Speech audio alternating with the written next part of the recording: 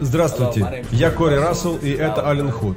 Мы лидеры Международного дома молитвы в Канзас-Сити. Мы хотим пригласить вас присоединиться к молитве за пробуждение, которая состоится в Армении. Бог поднимает молитву и поклонение по всему миру, и мы соберемся в Армении вместе с тысячами пасторов и лидеров из разных стран, чтобы молиться о пробуждении.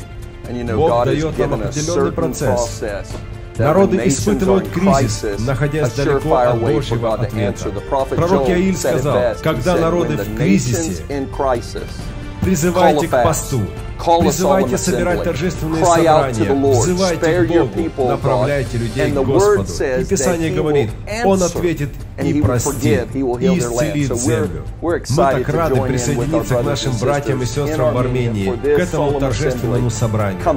Присоединяйтесь к нам, присоединяйтесь к нам.